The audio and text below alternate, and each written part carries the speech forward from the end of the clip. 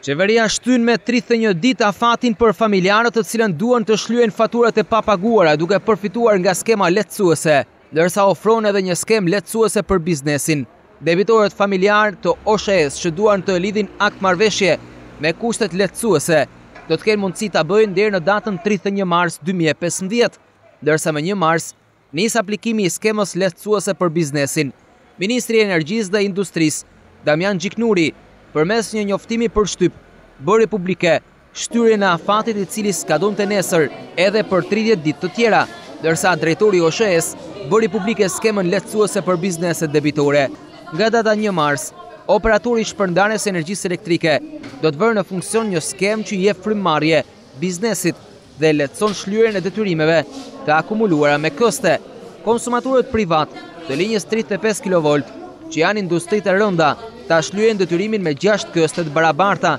brenda datës 31 dhjetor 2015. Konsumatorët privatë të linjës 20 deri në 6 kilovolt, që janë biznese të mëdha, duhet ta shlyejnë detyrimin me dymbëdhjetë këste, e ndarë në dy periudha, brenda datës tridhjetë e një dhjetor dy mijë e gjashtëmbëdhjetë për furnizimin njëzet dhe dhjetë kilovolt dhe brenda dy mijë e shtatëmbëdhjetës për linjat gjashtë kilovolt. Konsumatorët e tensionit të ulët janë ato të cilat përfitojnë me dymbëdhjetë këste shlyerjen e detyrimeve, ndërsa objektet e kultit me 12 këste, serat dhe pompat e ujit vaditëse, këste të ndara në 24 muaj.